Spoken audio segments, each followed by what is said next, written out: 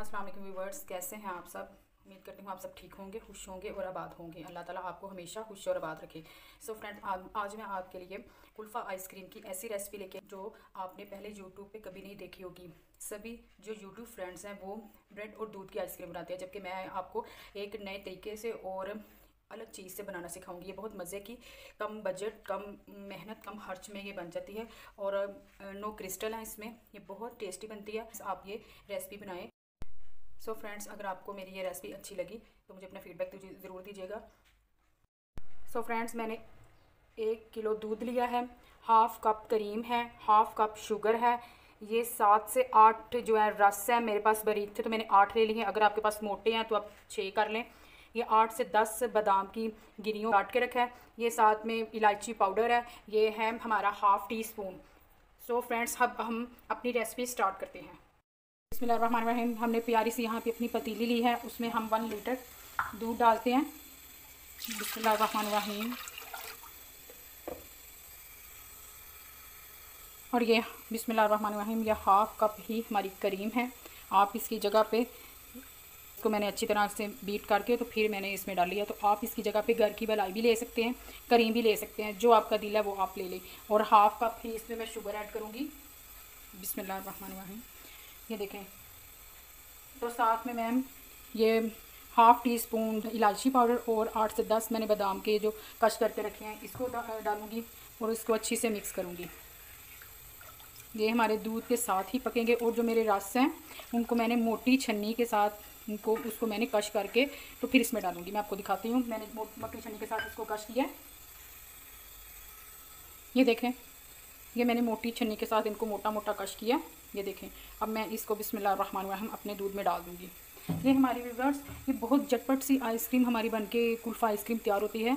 मैं आपको दिखाती हूँ, इसको अब हम तेज़ आँच पे इसको पकाएँगे। अगर आप मीठा कम या ज़्यादा करना चाहते हैं तो वो आपकी मर्ज़ी है।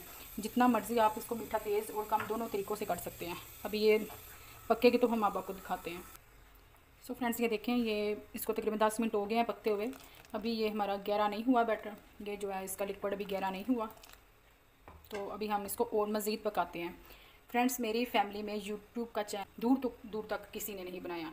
तो मैं अपनी फैमिली में पहली हूँ और मुझे शुरू से ही कुछ करने का शौक़ था। और मैं वेल एजुकेट हूँ, लेकिन बाहर जाके जॉब करना मेरे लिए मुनासिब नहीं था, मुझे पसंद नहीं था। मुझे घर में बैठे ही इस प्लेटफॉर्म से बेस्ट कुछ नहीं लगा। कि मैं अपनी और अपनी मदर्स की जो है, हमारे बड़ों की जो रेसिपीज़ हैं, वो आपके साथ शेयर करूँ। उनके जो टिप्स हैं, उनके ट्रिक्स हैं, वो आपके आपको बताऊँ ताकि हमारे साथ आप भी उस चीज़ का फ़ायदा लें। ये जो रेसिपी है, ये रस और दूध की, ये हमारे बड़े बनाते थे। ये आपको यूट्यूब में नहीं मिलेगी, इसलिए आप इस रेसिपी को बनाएँ इंजॉय करें। और लिहाजा अगर मेरी कोई मिस्टेक आपको बुरी लगे तो प्लीज़ उसे इग्नोर कीजिएगा और अगर आप मुझे कोई मशवरा या मुझे गाइड करना चाहते हैं तो मुझे प्लीज़ कमेंट में बताइएगा। और मुझे प्लीज़ प्लीज़ प्लीज़ ज़्यादा से ज़्यादा सपोर्ट करें और मेरे चैनल को सब्सक्राइब करें। और ये साथ साथ हमारा, ये देखें, ये जो है लिक्विड ये भी गहरा हो रहा है और ये बस दस मिनट में आपके आपको मैं दिखाती हूँ, ये परफेक्ट हो जाएगा। इसमें हम सिर्फ़ just three drops drops of essence केवड़ा डाल रहे हैं। ये हमने डाल दिया। अब इसको अच्छी से मिक्स कर लें। इससे इसकी बहुत अच्छी स्मेल आती है और इसका जो टेस्ट है वो दुबाला हो जाता है। अब मैंने जो इसका फ्लेम ऑफ़ कर दिया ये इसकी कंसिस्टेंसी देख लें। आप चेक कर सकते हैं। ये इस थिकनेस पे आपने इसको बंद करना और इसको अब हम रूम टेम्परेचर के लिए छोड़ देते हैं। मैंने तकरीबन ये जो है हमारा कुल्फ़ा आइसक्रीम इसको मैंने तकरीबन बीस से पच्चीस मिनट तक मैंने इसको पकाया है। तो इसको अब मैंने फ्लेम ऑफ़ कर दिया है टेम्परेचर पर छोड़ दिया कुछ देर के लिए फिर आपको दिखाते हैं। ये हमारा रूम टेम्परेचर पे आ गया। अब हम इसको जग में डालते हैं ताकि हम इजीली अपने मोल्ड में डाल सकें। ये हमने आइसक्रीम मोल्ड लिया। ये देखें, इसके नीचे मैं ना सबसे पहले ये बादाम कटे हुए डालती हूँ। ये देखें, ये सभी मोल्ड में मैंने कटे हुए बादाम डाल दिए। ये देखें। अब अब इनके अंदर मैं जग की मदद से ये डालती हूँ।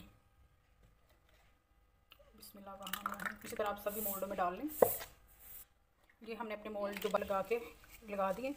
अब इनको ओवरनाइट के लिए फ्रीज़र में रखने लगे हैं हम इनको।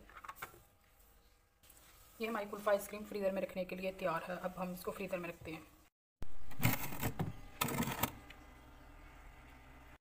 सो so फ्रेंड्स ये ओवरनाइट रखने के बाद हमारी ये कुल्फ़ा आइसक्रीम बनके तैयार हो गई है। माशाल्लाह से देखिए कितनी प्यारी और मज़े की लग रही है। आपको फ्रेंड्स फ्रेंड्स अगर आपको मेरी ये रेसिपी अच्छी लगी हो तो प्लीज़ लाइक शेयर कीजिएगा और अगर आप चैनल पे नए हैं तो सब्सक्राइब ज़रूर कीजिएगा। अल्लाह हाफिज़।